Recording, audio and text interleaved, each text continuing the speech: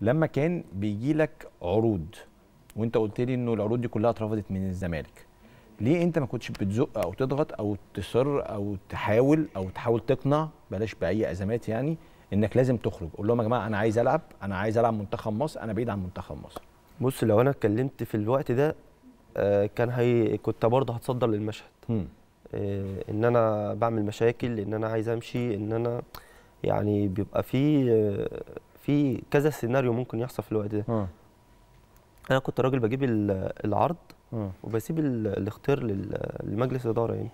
مالكش دعوة. بالظبط. سرب لك عقد آه، قعدت على الدكة. آه، زي ما انت قلت لي كده آه، الناس جت عليك انت عشان ما بتتكلمش. التالتة بقى ودي بالنسبة لي هي الأزمة أو هي دي بالنسبة لي أنا كمتابع يعني هي المشكلة. إنه دايما أنت محاط بالإشاعات. يعني محاط بإشاعات حتى بره الملعب مفيش أي إشاعة فيهم حقيقية حاسس فيها إن أنت غلطان حاسس فيها إن أنا كنت مذنب حاسس فيها إن أنا أخطأت آه أنا زي ما قلت لك يعني أنا قعدت فترة طويلة جدا بلعب بلعب كورة ما حصلش مني مشكلة واحدة مم. بس لو هت- هتقعد بقى تفكر في كل إشاعة وترد على كل إشاعة مم. أنت كده آه، مش هتخلق مش هتلعب كورة.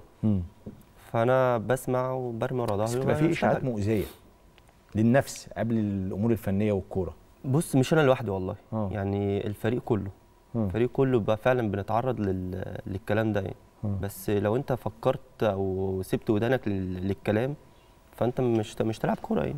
ما فكرتش مرة تدافع عن نفسك؟ تقول يا جماعة يعني مثلا أنا بطلع أقول في الإعلام يا جماعة محمد عواد بيعمل واحد اتنين تلاتة أربعة على ضوء ما يجيلي من معلومات.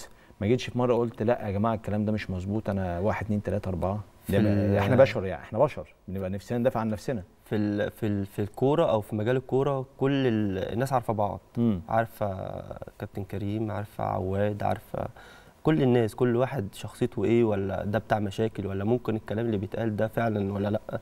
فأعتقد يعني الواحد سمعته أو آه، الفترة اللي هو اشتغل فيها في الكورة فتشفع له إن أي حاجة تتقال عليه الناس هي اللي اللي ترد يعني.